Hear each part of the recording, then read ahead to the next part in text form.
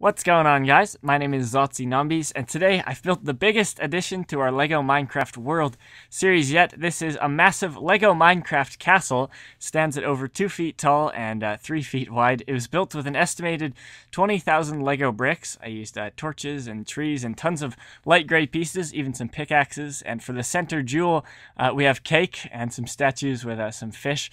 Uh, also, it comes with tons of LEGO accessories and mobs, which I'll go over in a second. But Steve has some alternate skins too. We have King Steve, complete with a diamond cape. We have Steve the Peasant, and uh, of course, Steve in his full on diamond armor.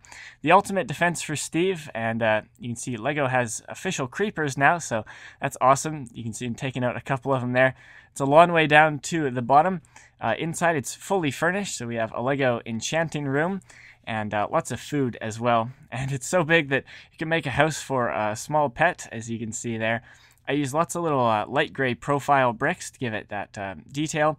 Inside, I use tons of smooth tiles, and uh, the towers come off, and Steve has a nice bedroom. If you guys want to build this LEGO Minecraft bed, it was built on a 6x4 brown base plate.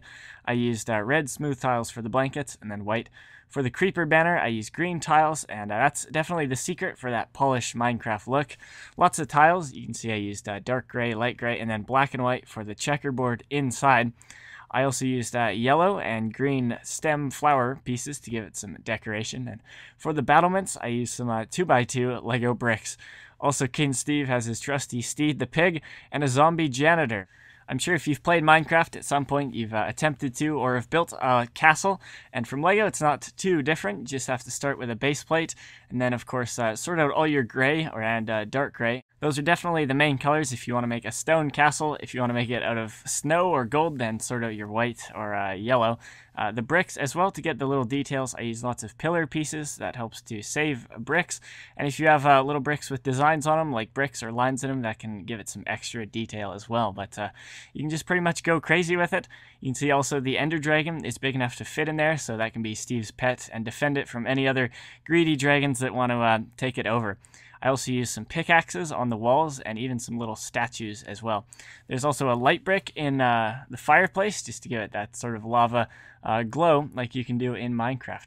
The trees were polished out with green smooth tiles and I used a ton of dark gray bricks on the base just to give it that sort of cobblestone look. But there you have it. I hope you guys enjoyed this LEGO Minecraft castle. Let me know in the comments your idea for the next LEGO creation. Make sure to give the video a thumbs up if you guys want to see some more stuff uh, on this sort of scale. And thank you guys so much for watching my videos. So I'll see you guys in another video with another LEGO creation. A great place as well to store some Lego golden coins, as you can see right there.